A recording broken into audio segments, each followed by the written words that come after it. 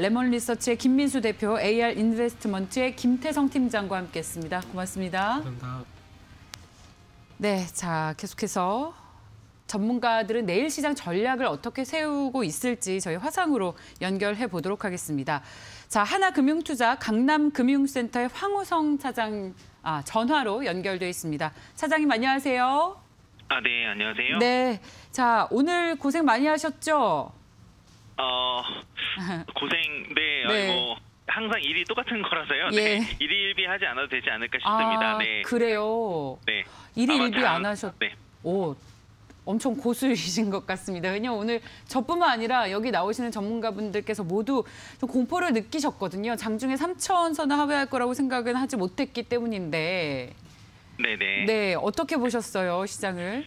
어, 일단 어제 저녁에 미국장부터 좀 봐야 될 것 같아요. 그, 그, 그간 큰 호재나 악재가 없던 시장 상황이었어갖고, 뭐, 이번 주까지는 그래도 좀 빠질 수도 있겠다라는 분위기였어요. 대체적으로 뭐 큰 호재가 없었으니까 국내가 그랬는데, 어제 밤에 이제 나스닥이 낙폭을 확도를 크게 했습니다. 한 4% 이상 확 빠졌다가, 파월 의장 발언 이후에 이제 반등을 해서 어, 어느 정도 올라왔거든요. S&P는 또 상향해서 끝났고요. 그래서 금리 인상도 없을 거고 인플레이션 문제도 없다. 지금 시장에서 가장 언급하고 있는 게 뭐 장기 국채 관련해 갖고 너무 빨리 올라가는 거 아니냐라는 것 때문에 지금 시장에서 계속 어, 의심을 했던 건데요.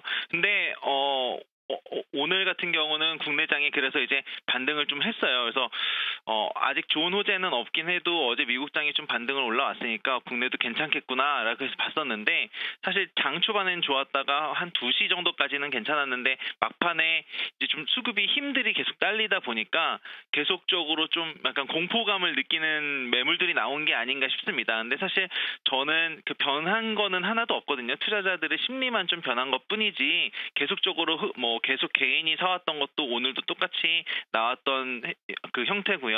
외국인하고 기관이 매도했던 것도 똑같은 형태거든요. 그래서 크게 걱정 안 하고 앞으로 봐야 될 그렇다면 이제 바닥이 어느 정도일 거냐, 어느 정도쯤에 더 들어가야 되느냐, 여기에 집중하면 되지 않을까 이렇게 생각하고 있습니다. 네, 알겠습니다. 시장을 지켜보는 것이 급락, 추가적인 급락에 대한 우려가 아니라 지금 그렇다면 조금 더 싸게 살 시점은 언제인지 바닥을 지켜보는 관점으로 시장을 보자라는 말씀으로 정의를 해도 될 것 같은데요.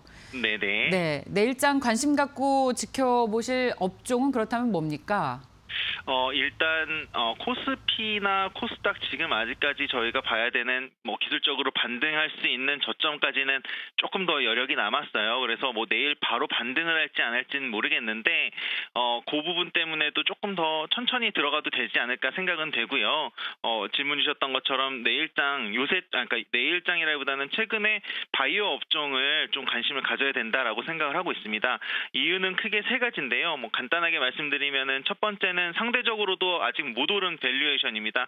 반도체나 자동차, 뭐 화학 다른 것들은 좀 많이 올랐는데 어, 작년 12월 이후에 바이오 종목들이 좀 많이 하- 어, 약세인 분위기가 있고요. 어, 그 3월 달부터는 다수의 바이오 기업들이 IPO가 예정이 돼 있습니다. 어, 프레스티지 바이오로직스, 뭐 네오 이뮨텍, 뭐 SK 바이오사이언스 이제 기사로도 종종 좀 나오고 있는데요. 그래서 이런 부분들 모멘텀이 좀 가능하다면 충분히 바이오 업종 괜찮다고 보여지고요. 마지막으로 코로나 치료제나 백신, 뭐 위탁 생산 관련된 이벤트들은 지속적으로 나올 수밖에 없습니다. 다 잘 아시겠지만 뭐 코로나 백신, 뭐 치료제 어, 아직까지 우리나라에서 뭐 전형적으로 다 개발돼 서 나온 것들은 이제 막 발을 떼면서 시도를 하고 있거든요. 그래서 그 부분들도 이슈화가 되면은 바이오 업종 괜찮지 않을까 생각이 되고요. 그 연계해서 오늘 아마 어 제가 뭐 딱 요 종목이다라고는 볼 수는 없지만 뭐 대표적으로 SK 케미칼, 뭐 오스코텍, 한미약품 이런 것들 내용이 괜찮았고요. 또 연계해서 매드팩토라는 종목들도 좀 좋았습니다. SK 케미칼은 그래도 그 SK 바이오사이언스가 어 이제 3월 9일부터 10일까지 공모가 있거든요. 그래서 이게 가장 큰 대여라고 얘기들 나오는데요.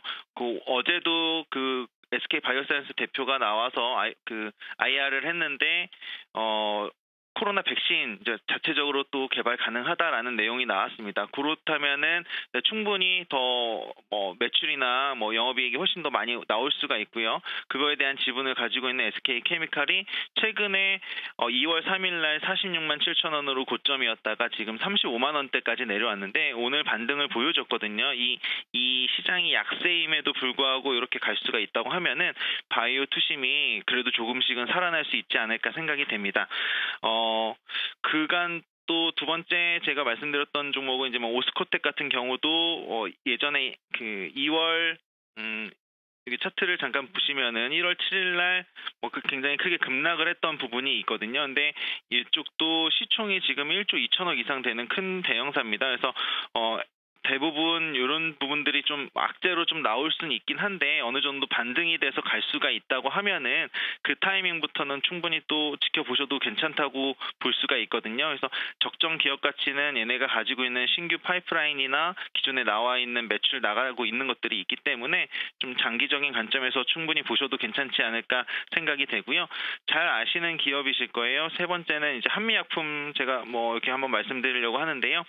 한미약품도 마찬가지로 1월 27일 날 고점 42만 7천 원에 어 발표를 했, 어, 그 42만 7천 원을 히트를 했다가 지금 33만 6천 원으로 하락했습니다.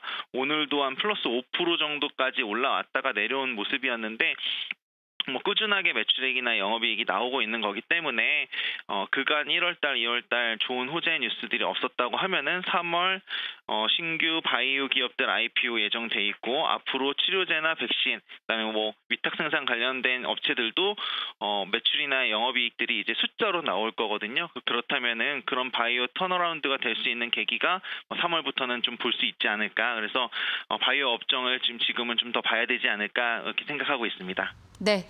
자, 오늘 말씀 여기까지 듣겠습니다. 고맙습니다. 감사합니다.